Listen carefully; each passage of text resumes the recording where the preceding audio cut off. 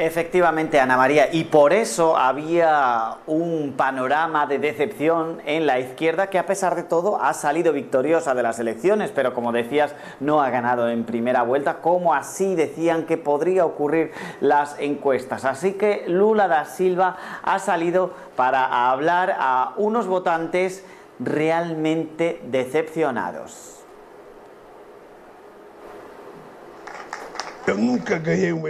Nunca gané una elección en la primera vuelta. Todas las elecciones que disputé lo hice en segunda vuelta. Todas. Lo importante es que la segunda vuelta es la oportunidad de madurar las propuestas y la conversación con la sociedad. A tus propuestas y a tu conversa con la sociedad.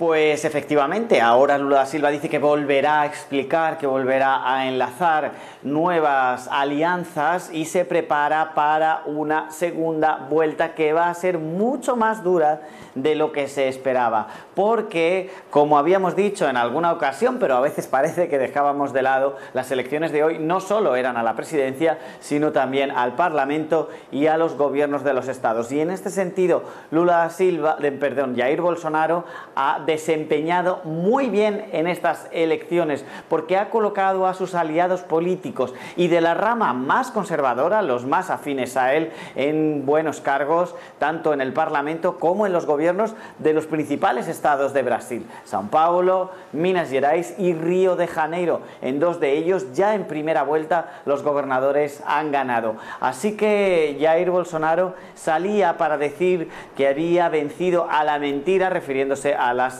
empresas de encuestas y que ahora el contador se pone a cero y que los dos se enfrentan cara a cara, que podrán tener un debate los dos.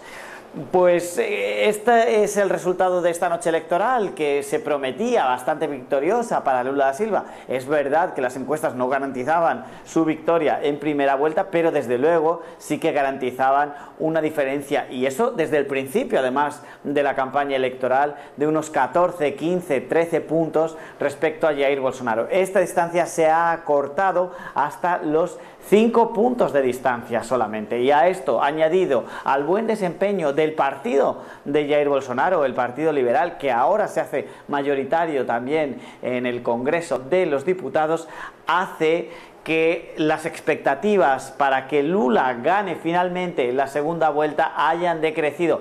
Por supuesto no estamos diciendo que Lula da Silva vaya a perder en una segunda vuelta, pero es verdad, y así lo ha dejado él, ha sido consciente, y se ha notado en los ánimos, sobre todo de los votantes, pero también del propio Lula da Silva y su equipo, un clima de decepción porque ahora, este mes, viene un tiempo difícil de campaña y Bolsonaro también ha dicho que explicará, que tendrá que explicar a las personas más pobres, aquellas que entienden que su economía ha empeorado desde antes de la pandemia hasta ahora. Ha vuelto a afianzarse en su crítica a las eh, políticas de aislamiento social. Ha dicho que la mala situación económica que quizás le haya hecho perder apoyo es la de aquellos que estaban en contra de está en contra de la política de quédese en casa con el COVID, contra el COVID-19. Ana María.